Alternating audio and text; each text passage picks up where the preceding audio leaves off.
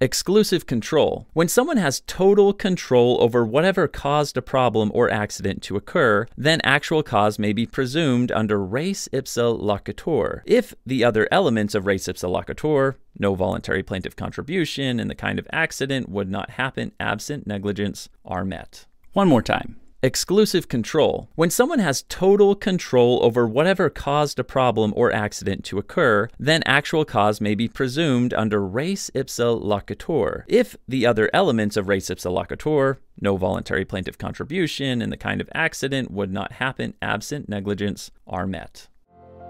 Crushendo's revolutionizing legal education with hundreds of mnemonics and illustrations, thousands of practice questions, affordable pricing, lifetime access, whiteboard videos, plus audio outlines and audio flashcards. Master the law faster and with more freedom than ever before with Crescendo. You should definitely check out crushendo.com today.